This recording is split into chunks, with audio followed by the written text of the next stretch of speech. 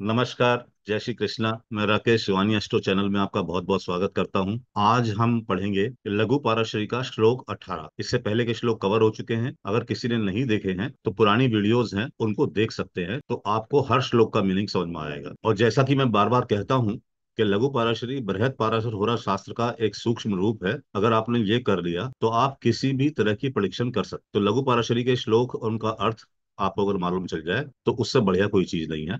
ज़्यादा श्लोक नहीं है, चालीस के आसपास के श्लोक है। इतना ही श्लोक आपको याद करके अगर मालूम चल जाता है तो आप सब कुछ समझ जाते श्लोक अठारह में क्या बोलते हैं? श्लोक अठारह में बोला गया है दशा स्वापी भवेद योग, प्रायशो योग कारणो दशा द्विमध्य ग्रस्त शुभ कारिणाम। ये कहते हैं, ये कहते हैं कि अगर आपकी दो दशाएँ अच्छी हो, एक पहले, एक बाद की तो बीच की दशा अगर असंबंधित ग्रह की भी हो तो भी अच्छी जाती यहाँ पे सोचने वाली बात है। ये क्या हुआ? देखिए, ग्रह संबंधित कब हो? ये मैंने लास्ट वीडियो में में भी आपको बताया था कि चार तरह चार प्रकार से ग्रह संबंध पैदा कर सकते हैं। नंबर एक, ग्रह साथ में बैठे हों तो संबंधित हो जाएँगे। ग्रह एक दूसरे के राशि में बैठे हों तो संबंधित हो जाएँगे। ग्रह एक दूसरे को पूर्ण दृष्टि से देख रहे हो तो संबंधित हो जाएँगे। एक ग्रह दूसरे ग्रह के घर में बैठा हो और दूसरा ग्रह अपने घर को देख रहा हो तो ग्रह संबंधित हो जाएँगे। तो ये चार संबंध होते हैं। तो ये कहा गया है कि योग कारक ग्रह की महादशा हो और योग कारक ग्रह की अंतरदशा हो तो वो तो अच्छी जाती है, अगर संबंधित है तो अगर संबंध रखता है। और इसमें यह कहा गया है कि दो योग कारक दशाएँ अगर निकली हैं, अच्छी है मतलब एक तो अब की यानी एक दशा अभी गई, वो अच्छी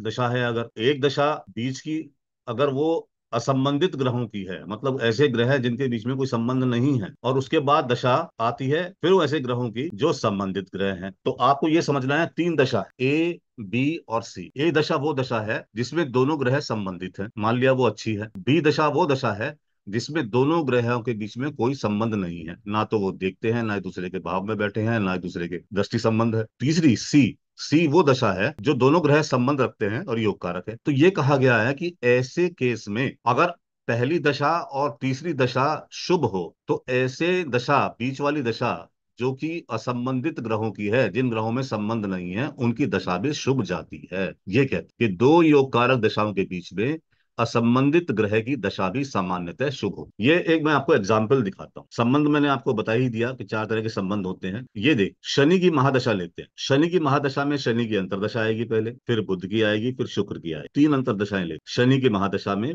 शनि के अंतर शनि क्या है इस कुंडली में? शनि इस कुंडली में नवे भाव का स्वामी है और दसवें भाव का स्वामी। ये पीछे हम लोग पढ़ चुके हैं कि एक ही ग्रह अगर केंद्र और त्रिकोण दोनों का स्वामी हो तो वह पूर्ण योगकारी ग्रह बन जाता है। तो शनि जो है इस कुंडली में पूर्ण योगकारी ग्रह है। तो शनि में शनि की दशा, क्योंकि शनि केंद्र में बैठा भी है, और शनि पूर्ण योगकारी ग्रह है तो शनि में शनि की दशा तो ज़ाहिर है, शुभ जाएगी, उसमें कोई बात नहीं है। अब आते हैं शनि में शुक्र की दशा, शनि में बुद्ध की दशा। शनि में बुद्ध बुद्ध क्या है इस कुंडली में? बुद्ध इस कुंडली में पंचमेश है और द्वितीय सेकंड भाव का स्वामी है और पंचम भाव का स्वामी है। शुभ है इस कुंडली के लिए बुद्ध वृषभ लगन कुंडली के लिए शुभ है। शनि की महादशा है, लेकिन शनि से संबंधित नहीं। बुद्ध का और शनि का संबंध नहीं। शनि से शनि में तो संबंध ये था कि शनि ही था।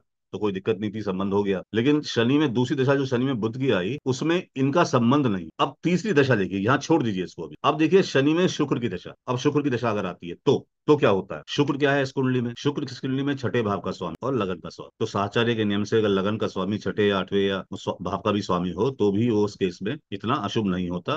वो शुभ कारक होता है, लगन का स्वामी, लगलेश। तो शुक्र भी इस कुंडली में, इस कुंडली में शुभ है, क्योंकि वृषभ लगानी कुंडली है और शुक्र तो शुक्र ही है, लगलेश ही है। तो इसका मतलब और शुक्र और शनि, ये देखिए, शुक्र बैठा है, चौथे भाव में शनि बैठा है, दसवें भाव में दोनों एक दूसरे को पूर्ण दृष्टि से देखते हैं, दोनों के बीच में संबंध है। तो ये दशा शुभ जाएगी। अब क्या हुआ कि इससे पहले थी शनि में बुद्ध की दशा और उससे पहले थी शनि में शनि की दशा। शनि में शनि की दशा में शनि संबंधित हो गया क्योंकि शनि शनि तो एक ही ग्रह है। शनि में बुद्ध की दशा में दोनों ग्रह संबंध नहीं रखते थे, लेकिन शनि में शुक्र की दशा में दोनों ग्रह संबंध रखते हैं। तो दो दशाएँ ऐसी हुई, शनि में बुद्ध जो कि संबंध नहीं रखते हैं एक उससे पहले की एक उससे बाद। जो दोनों दशाएँ योगकारी हैं तो ऐसे में शनि में बुद्ध की दशा भी योगकारी होगी, भले ही दोनों ग्रहों के बीच में कोई संबंध ना हो।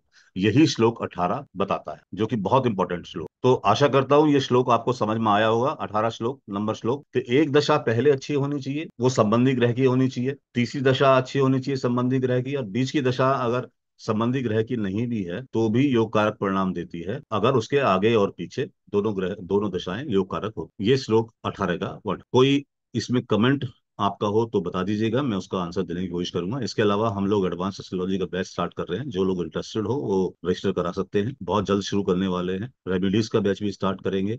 एस्ट्रोलॉजिकल रेमेडीज का बहुत उपयोग होता है ग्रहों की शांति के लिए। वो भी हम लोग शुरू करने जा रहे हैं। तो जिसमें भी जो भी इंटरेस्टेड हो, वो अपना नामांकन करा सकता है। धन्यवाद। जय श्री